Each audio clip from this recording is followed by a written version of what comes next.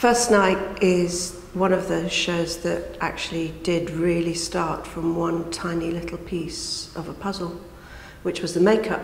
Uh, Tim had this idea about very theatrical makeup, plastic faces, I think he said. So we covered ourselves, our faces, with this kind of fake tan, and we put loads of Vaseline on on top, uh, so that our faces were very shiny and plastic looking, very big, sort of blue theatrical eye makeup. And Tim had us all line up and he, he looked at the faces and then he got us to smile.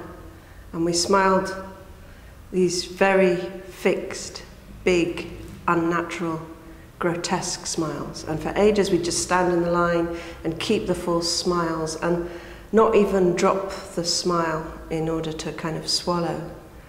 Um, so you could hear people making these really horrible noises as they kind of sort of gurgled the saliva in the back of their throat.